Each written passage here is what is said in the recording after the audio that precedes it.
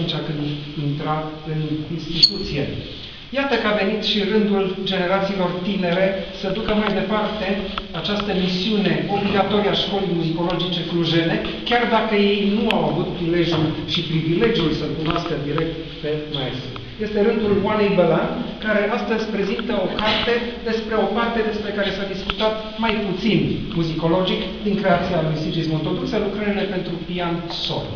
Permiteți-mi fac doar un mic tablou al cercetătoarei și muzicologului Ioana Bălan, pentru că această carte, atunci când este lecturată, ne permite să-i surprindem profilul eh, profesional și științific.